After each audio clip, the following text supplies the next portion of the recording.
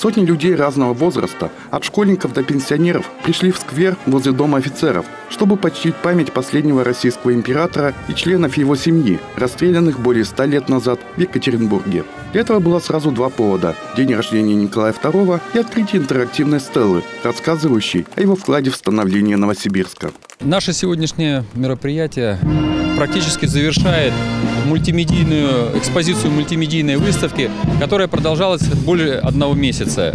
И сегодня, в день рождения государя-императора Николая II, мы торжественно празднуем его день рождения и устроили такой праздник э, для наших горожан.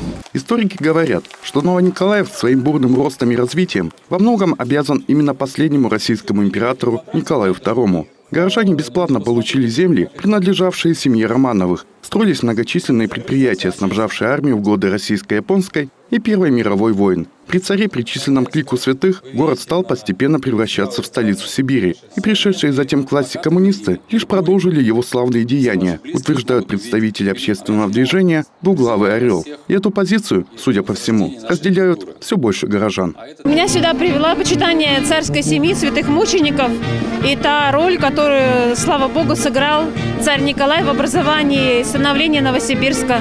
Для меня лично это имя святого человека – Э, с гибелью которого гиб, э, погибла Великая империя. И я считаю, что мы перед ним виноваты за то, что в советское время э, о нем думали плохо, как нас в школе учили, да, и что только уже в зрелом возрасте мы поняли, как нас обманывали, и насколько это был человек, и сколько он великий, и сколько он сделал для России. И сам Николай II, его деяния – уже история, о которой напоминает с помощью новейших технологий дополненной реальности – в частности, этой интерактивной стелы. Любой житель нашего города, а, если он наведет свой смартфон на стелу, он увидит фильм о истории основания города Новониколаевска и участие царя Николая в, этой, а, в этом.